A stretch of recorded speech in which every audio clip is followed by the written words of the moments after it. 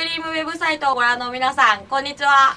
ザリマインズです。ベースボーカルの尾藤まみこです。ギターボーカルの竹内です。ドラムの岸本です。